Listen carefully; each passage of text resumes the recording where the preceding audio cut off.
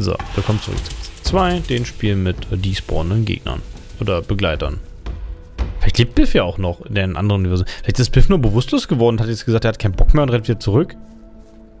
Das könnte auch sein, oder? Ich renne mal kurz nochmal hoch zu den Drachenjägern. Vielleicht steht er rum. Oh, guck mal, eine Fackel. Das war bestimmt Dan, der Arme. Ach, Menno. Ob Biff mich jetzt als Betrüger bezeichnet? Ich habe gesagt, für die Hälfte des Loots darf er mitkommen. Ich verstehe das Begleiter nicht so ganz. Also, das Ding ist die Mechanik von Gothic 2. Oh. Das höre ich zum ersten Mal. Es sieht so aus, als wäre er weg. Das interessiert mich nicht. Oder Kjorn, Hogon, Gorn. Ich ne. mir da nicht Okay, Biff hat's hinter sich. Naja. Schade für ihn. Das ist kein Geheimnis. Ähm, wie gesagt, ich verstehe Begleiter in dem Sinne halt nicht. Weil die sind halt, da ich das Zielsystem von Gothic halt so Banane ist, kannst du halt unmöglich deine Begleiter verschonen. Das ist das Problem, hatten ja auch viele andere Spiele der Zeit. Ich erinnere mich an Morrowind, da haben die, glaube ich, die beschworenen Kreaturen so sogar angegriffen, wenn du die angegriffen hast. Gut, das war teilweise auch dafür, dass sie, die haben, glaube ich, sogar was gedroppt, oder? Haben Morrowind die beschworenen Viecher was gedroppt? Also zumindest konntest du die angreifen und du bist doch dann gelevelt. Einfach deswegen, weil Morrowind du an alles gelevelt bist. Und wenn du einfach Feuerbälle in die Landschaft gehauen hast, bist du halt auch gelevelt. Du hast halt XP fürs Benutzen gekriegt. Das ist man auch die ganze Zeit duckjumpend da eigentlich durch die Gegend geflogen, weil es halt äh, Agilität gelevelt hat. Sehr praktisch übrigens. Na gut, äh, die Varane sind weg, aber leider ist auch nichts Neues an der Stelle gespawnt. War ja auch keine Leiche vom Biff. Schade. Na gut, dann, äh... Ich glaube, Snapper konnte ich, habe ich einzeln so tot gekriegt, ne?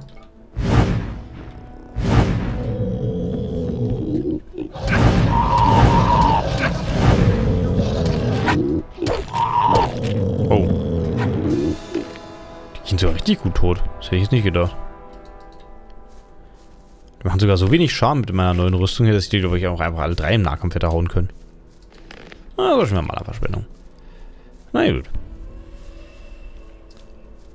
Das ist eigentlich krass, wie die Gegner eigentlich, obwohl ich persönlich nicht so das Gefühl habe, dass ich stärker geworden bin, doch einige Gegner doch deutlich schwächer geworden sind. Da vorne hat es einen Ork. Und nur welche Wölfe. Oh fuck. Oh, das war knapp.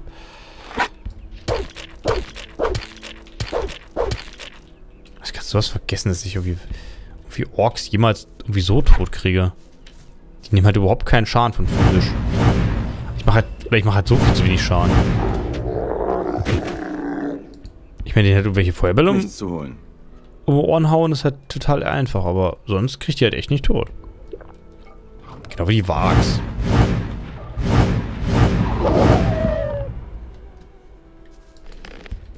Mit Feuerball kein Problem, aber ansonsten... Hm. Was ist das hier unten eigentlich für Blut? Hier liegen doch schon irgendwelche coolen Sachen rum. Rolle, Trank, Ring. Ich werde wahrscheinlich nie rauskriegen, was für ein Ring das gerade war. So viele Dinge, wie ich da dabei habe. Siehst du, ich sollte vielleicht mal Ringe verkaufen. Lebensenergiebonus plus 40. Wer auch immer Franco war, ich hab's schon wieder vergessen. Amulett der Priester, Krieger. Ach ja, das Auge Innos. Posiert volle Energie. Ja, zum Beispiel das, das Amulett der Flammen kann, glaube ich, auch weg. Das brauche ich nicht. Ring der Heiler. Ring der Krieger. Ring der astralen Kraft. Mana-Bonus plus 10. Wow. Da kann ich zum Beispiel die beiden Ringe der Magie kann ich schon verkaufen, weil ein Ring der astralen Kraft ist besser als das. Ring der Gewandtheit, Geschicklichkeitsbonus. Na gut, so auf statische Werte ist vielleicht gar nicht so schlecht. Dieser Ring gehört mir. Ring der Kraft. Plus drei Stärke. Gürtel der Kraft. Hm. Gürtel des Schutzes. Hm. Frage ist jetzt, zählt meine... Zählt das, das Ding hier als Magierroh, was ich anhab? das Blut, das schnell, da liegen bestimmt coole Sachen. Ja, so ist es ja auch. Da lag ja auch ein Ring der Magie, glaube ich, der halt so 10 Mana bringt, aber auch schön, ich habe einen Teleport-Zauber auf irgendeiner Taste. Was ist denn hier mein Weißblock?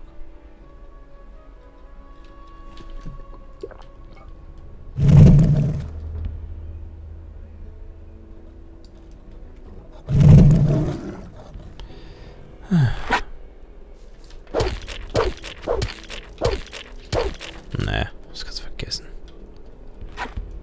So, theoretisch müssten ja Drachensnapper auch gegen Eis empfindlich sein, oder? Oh ja.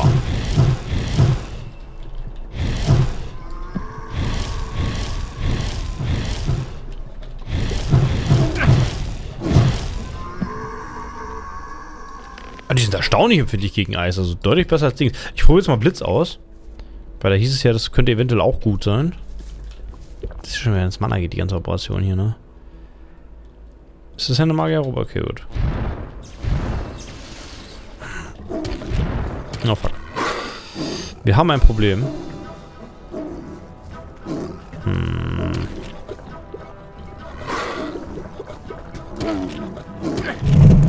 Oh, das ist so dumm.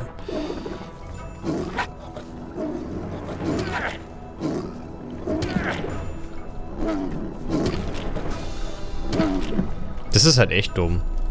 Das hasse ich. Ganz ehrlich, was, was soll denn das für eine Scheiße, dass ich Gegner nicht treffen kann, die direkt vor mir stehen? Vor allem kann man Gegner treffen, die direkt vor einen stehen, solange man die nicht... Diesmal kann ich auch wissen. Also das würde super funktionieren. Das Problem ist bloß, der Blitzschlag braucht so braucht dermaßen so, so braucht so viel Mana.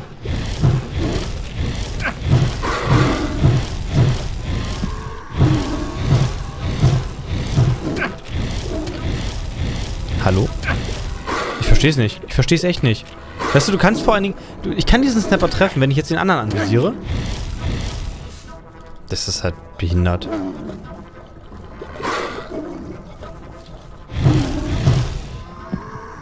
Also wenn die Viecher ein Stück den Berg runterstehen, ist das auch alles überhaupt kein Problem. Wo ist denn der dritte Snapper jetzt? Ist der auch schon tot? Hä? Hier oben. Solange die Viecher den Berg runterstehen,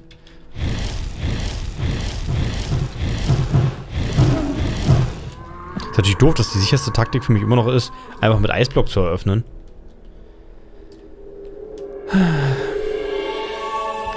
Das Problem in diesem Spiel ist meistens, dass sie damit Gewalt gelöst werden. Ach du Scheiße. Alter, sind das viele. Ähm. Das könnte hier böse schief gehen.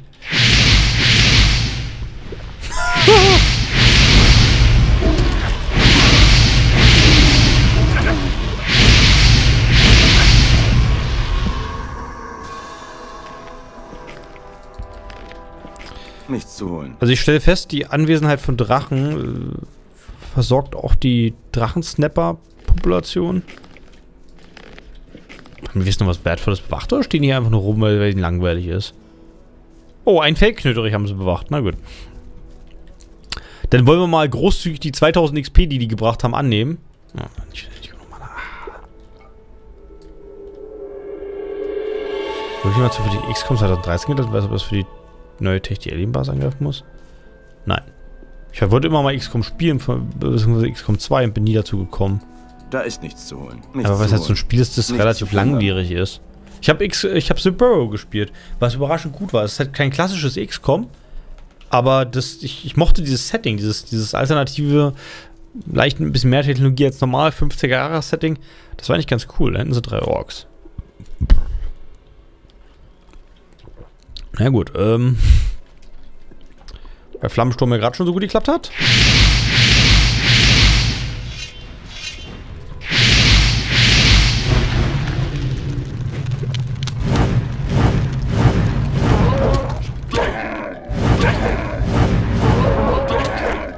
Ich möchte gerade feststellen, dass gerade einer der Feuerbälle getroffen hat. Warte, ja, hoch funktioniert. Nichts zu holen. Was auch immer das gerade war. Dann kommt Bo wieder auf die Liste. Ich habe auch ein Let's Play, du musst das gar nicht selber spielen. Ich, du kannst das äh, auch eins zu eins bei mir gucken. Das ist gar kein Problem. Musst dir das nicht antun. Das hat nicht so viel Entscheidungsfreiheit. Oder doch, doch, es hat Entscheidungsfreiheit, aber nicht so viel. Wie jetzt? Der Orkrieger hat was bei? Der auch? What? Ist noch ein netten Third-Person-Shooter? Ja, da gab's schon, das hatte schon seine 10. Ach, wie das Mana wieder nicht reicht für, warte mal. Das Mana reicht nicht für Selbstheilung. Ich habe da bestimmt noch so ein paar Pflanzen, die ich essen kann. Ah, Die ist vielleicht zu groß, aber hier, guck mal, Feuernässe. Das sollte eigentlich reichen, oder? Um Mich gegen zu heilen. Ich glaube, ich hätte wesentlich mehr Spaß, wenn ich einfach nur als Paladin spielen würde. Weil dann könnte ich halt mich, dann könnte ich diese Heilzauber halt ordentlich nutzen und würde das Mana halt wirklich nur so zur Heilung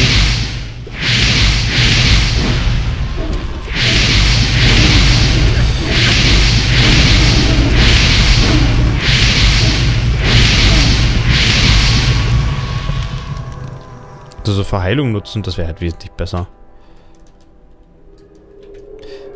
Ich muss ein bisschen aufpassen auf meine Tränke. Wie habe ich denn noch so? Uh. Also Heiltränke werden echt knapp, dadurch, dass ich halt im, im Kampf immer gerne gleich so 20 Stück trinken muss.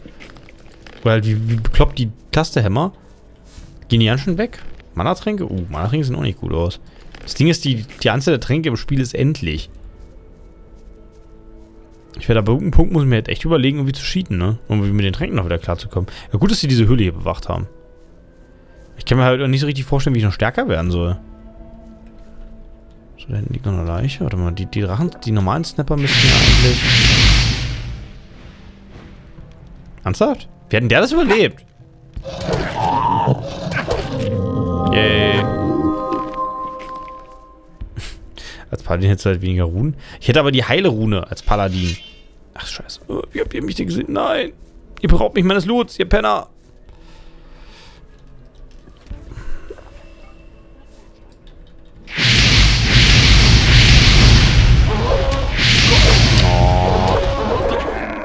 Nur einer?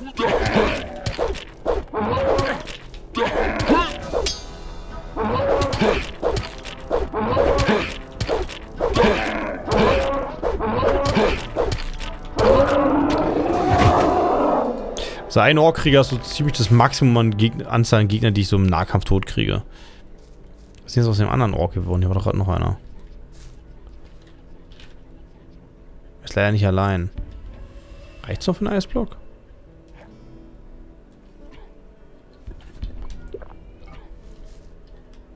Loot erstmal die Snapper. Ich werde mich bestimmt gleich mega erschrecken, wenn der komische Typ aus seinem Loch da rauskommt. Was ist überhaupt für ein... Hä? Ach, das ist eine Höhle.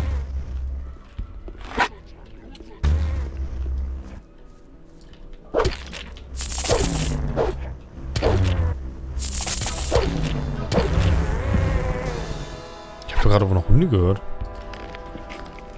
Hm. Ist natürlich sehr interessant, dass es hier so eine Höhle gibt. Die wohin führt. Ach, da hinten ist ein Paladin, Mensch. Das zählt bestimmt nicht, die... Ein Ohr kriege ich anscheinend im Nahkampf tot, dann machen wir das. Oder ist hier hinten dieses komische Minenlager und ich bin jetzt irgendwie gerade im Kreis gelaufen. Oh, das könnte knapp werden.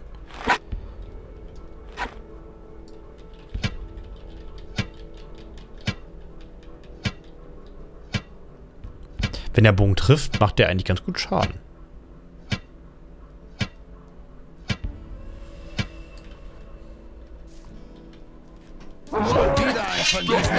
Ja, mach mal was.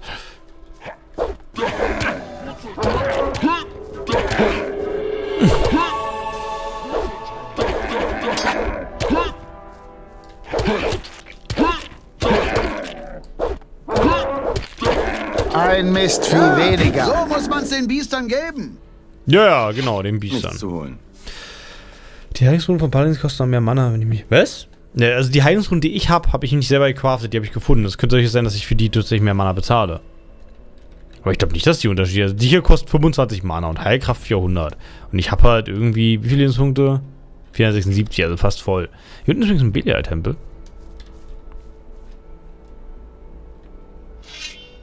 Ich dachte doch, ich hätte hier unten gerade einen Ork gesehen. Ja.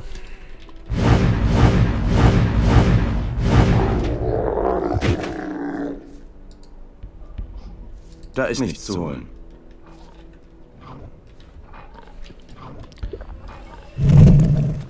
Hm.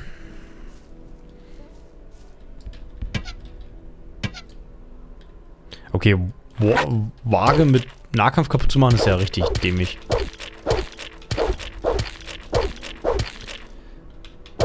Die Ausbildungspunkte kosten, ich gesagt habe, natürlich, ne, je nach Level. Das kostet halt immer mehr.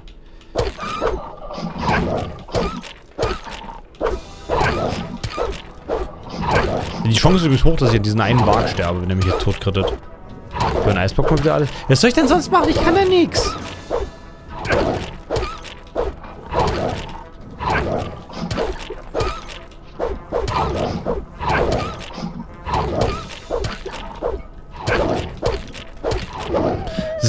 Habe ja wirklich wortwörtlich keine andere Möglichkeit, als die Gegner tot zu eisblocken.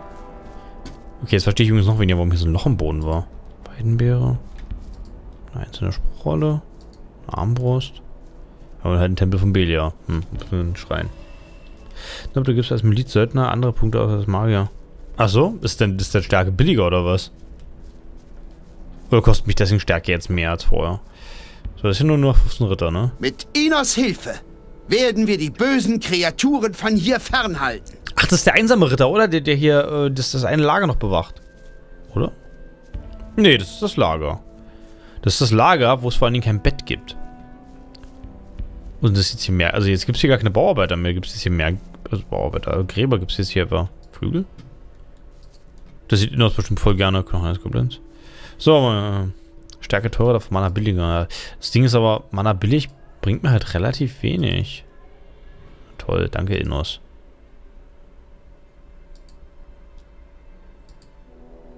Das war der Rufus? Nein. Okay, bringt das irgendwas, das öfter zu drücken? Nein. Okay, also Innos dankt fürs Gebet. Ich will gerne diesen Lederbeutel hinter Innos plündern, wenn es geht. Ach, hier liegt da noch mehr Zeug. Spruchrolle. Wer bewahrt denn dieses ganze Krempel immer hinter den Schreien auf? Huh. Null Gold bringt nichts. Doch, ich habe schon, ich wurde schon voll geheilt für null Gold. Aber wie sieht das nicht so aus? Wird hier noch irgendjemand was abbauen? Ach nee, doch, da hinten ist einer. Oh, eine Spitzhacke, sehr gut. Gab es nicht wo ein Bett? Bin ich woanders? Ich bin woanders. Hier war ich noch gar nicht. Moment, dann wollen wir nochmal bestimmt diese, uns dieser Truhe hier annehmen. Ähm, links, war falsch. Rechts, Nein. Links. Links. Ach. Oh. oh 50 Gold. Und eine Innos-Statue. Und ein Extrakt der Heilung. Die Innos-Synchro war über Rufus? Ich glaube nicht. Die Firma Innos dankte? Ja, mir auch nicht. Was habe ich gerade gesagt? Rechts. Links, links, links, links. Na gut, äh, läuft auch. Guck mal, hier hinten haben wir noch einen Heiltrank. Das. Was ist das hier für ein Totenkopfspruch? Das habe ich nicht eigentlich. Ich sammle die ganze Zeit Spruchrollen ein, ohne mir, mich darüber großartig eine Platte zu machen, was ich da eigentlich einsammle. Totenkopf ist Skelett erschaffen. Naja. Hier, das ist jetzt eher so mäßig sinnvoll. Ich könnte noch zwei kleine Feuersturmspruchrollen benutzen. Ja, ein großer Feuer war ich mittlerweile sechsmal. Wow. Hallo, Falkenleute. Das Ding hat diese Spruchrollen-Zaubersprüche, die waren halt nicht mal am Anfang gut. Und die sind seitdem nicht besser geworden. Haben die noch was motiviert? Das auch mal noch eine Spitzhacke. Sehr gut. Und Bier. Und dieses, dieses Kloppgeräusch, ne? Von hier diesen, diesen Adern hier. Das ist genau das gleiche hatte Dungeon Keeper. Exakt das gleiche, ich bin mir sicher. Hey, du. Du? Grimes? Ja, wer hätte gedacht, dass wir uns nochmal wiedersehen würden? So wie es aussieht, haben wir es wohl beide verstanden, am Leben zu bleiben. Und wie du siehst, bin ich dem Schürfen treu geblieben. Wer, wer ist er denn? Was macht die Arbeit? Dieser Fels ist verdammt hartnäckig. Fast so, als würde er sich dagegen wehren, dass wir uns das Erz holen. Er wehrt sich. Na gut, ähm, gut, das ist, äh... Er hat schon viele Beutel geöffnet? Ja, genau. Oh, ein Hey. Lass mich in Frieden, Mann. Ja, gut, das ist wahrscheinlich nicht so ein geiler Job. Ah, ich, stimmt, ich habe schon sechs oder sieben Beutel geöffnet. Das, das Problem hat, wenn ich das, die Beutel... Oh, scheiße, ist ja noch nach. Das Problem ist halt, wenn ich die Beutel öffne, dann, dann hatte ich zumindest am Anfang die Angst... Hatte ich halt zumindest am Anfang Angst, dass mir die Leute halt das Geld klauen. Das ist ja doof. Also wenn ich dann über, wenn ich dann bewusst geschlagen wurde, dann, dann, dann rauben die ja meine Leiche aus. Oder generell irgendwelche NPCs zwischendurch, wo ich zum Beispiel frage, ob ich nicht was spenden möchte. Und die so, nein. Dann hatte ich aber keine Wahl. Musste trotzdem spenden. Und das war halt doof. So, na gut, wir begeben uns mal zur Burg. In der nächsten Folge.